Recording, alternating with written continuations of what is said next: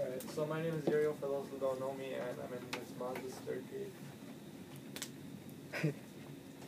Uh, so, uh, I want you guys to imagine this guy. He's never worked in his entire life. Uh, so let's call him Billy. Um, so one day he got a call from uh, from one of his relatives saying that uh, one of his uh, aunts uh, actually died. Uh, so he actually inherited all his all her money, and ended up with thousands and hundreds of dollars just because of a relative. Um, so yeah, he's never worked a day in his life, and now he has all these luxuries. All his he, he recently bought he recently bought a car, he bought a mansion, and he has all this money, but he has never worked a day in his life. But he has one problem. Um, he's he's sad. He feels like he hasn't contributed anything to this society or as as of like work wise or like just nothing. He hasn't put in anything towards this um towards this earth or yeah this society. Um, um, so this is what uh, this scenario leads me with a dozen a dozen questions. So like, can Billy Billy even be considered uh, successful? Can he? Why why is he unhappy if he has all this money? Um, what's his purpose? Like what what is he trying to uh, get at? Um, so the moral of the story, uh, or the story I'm trying to get at is, um, so he's very unhappy with this situation uh, because he feels like he hasn't contributed anything to this world. And uh, next, four years ago, this I found myself like I found myself in the same position. So, uh, as you guys know, or some some of you guys know, I'm very passionate about soccer. So I decided to try out uh, freshman year for soccer team. Um, but the first year wasn't so great for us or myself uh, individually. Um, I tried out, I made it, but uh, most of the time I was just in in the bench or I didn't really play. Uh, I wasn't really interested in going to practices, things like that. Um, but um, so yeah, I found myself in this situation like I, I didn't contribute anything to the team or or the sport. Um, but then came uh, sophomore year, and then that's when it all changed. Um, Mr. Vigas, he was our coach. Um, we trained all summer really hard. Uh, Mauricio can tell you. Uh, we woke up day day by day, sometimes even two times a day, working, working, working. Um, going, getting on a bus 6 a.m. all the way to like uh, I forgot the name of the park, but it was like by the blue line.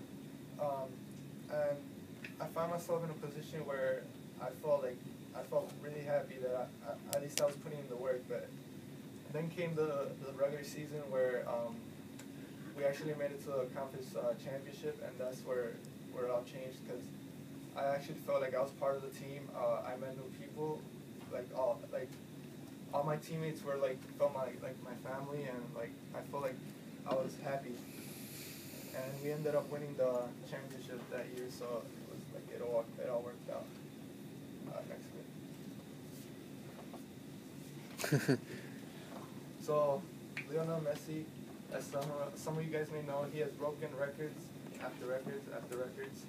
Uh, he's compared to um, other players, um, so, such as Pelé or Maradona, if you guys can recognize him. Um, he he's won championship after ch- uh, championship after championship with his club at Barcelona. But as a young uh, boy, he had challenges. He had um, was diagnosed with a hormone deficiency that uh, uh, restricted his growth. So he, he's, uh, like if you guys know him, uh, he's pretty short, not that tall, but he has become like one of the greatest players of all time. And I admire that because um, he doesn't just go for the money. Like he has love for the sport and love for for for what he does, but at the same time, um, he's happy and in his position, and he doesn't look towards the money. And our friend Billy over here, um, he can see, he can be seen as the same category as Messi, except that he's unhappy. He has he has the money, he doesn't have to work, but he's unhappy. So as you guys can see, um, I feel like passion plays a big role in what what you like what career you choose. If, if you choose something that you're not uh, content with, then how are you gonna work the rest of your life, or how are you gonna how are you gonna contribute? How are you gonna get up uh, every day uh, from from your bed? Um, and then uh, my second reference, uh, Kyle, um, Mr. He goes by the name of Mr. Technical Difficult. Um, I actually got the privilege of uh, interviewing him. Uh, he's a YouTuber. Uh, he has over two million subscribers, and um, it was really interesting, like uh, like just asking him questions and seeing like his response, because he's a really humble guy, and he's um like Messi, he, he follows his passion. He's uh 25 years old, and he's living his dream, uh, making videos day by day, just making people laugh, and that's like just that's just an, another example of what like like what um, we should look for, like look for passion, be happy, not just uh, not just go for the money. Um, yeah. Um, so one of his um, something that drives him or his motivation is uh, his family, and I feel like that is perfectly fine uh, um, to use as a motivation. Like you you want you want to keep your family safe, you want to keep them happy, and that's that's my that's my uh, I guess that that's what my motivation uh, will probably be in the future, or will, what what I want in the future. And lastly, uh, meaning of success. Um, everyone has a different definition of success. Sometimes, like I said, people look for money, or uh, sometimes people look for what makes them happy. But um, but um, sometimes it's not. It's none of those things because everyone's different. Everyone thinks differently. Sometimes we just want to reach a goal or, or have something to be proud of, um, something that drives us or helps us move forward. And throughout these, um, throughout your uh, search to success, um, you're gonna have challenges, different different types of challenges. Like uh, our friend Messi here had, um, he wasn't able to grow.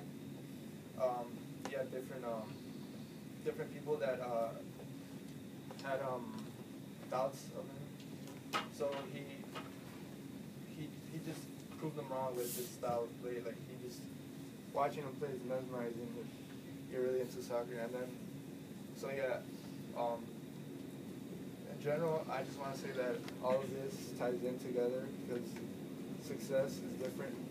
It's different and it's a mystery because no one ever knows what it really is. You just you just move on with your life, move forward. Uh, next life.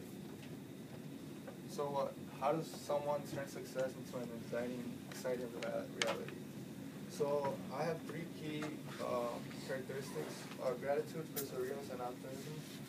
Uh, sometimes I don't apply them myself, but I feel like they're they're actually good qualities to like to look for um, or to gain as as you go through challenges um, throughout life, college, all this stuff.